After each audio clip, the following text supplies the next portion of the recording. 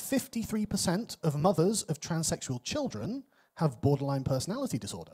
They're using their children as fodder. They're just throwing these kids into the blender and saying, look at me. And they want their body parts back, but somebody dumped them in the trash and they can't find them. Children are not sexual. You fucking idiot. You're abusing them and you're going to jail. Without the encouragement of your father, man, the world is a dismal place. He has to protect his children at all times from the mother and not allow the mother to destroy the children.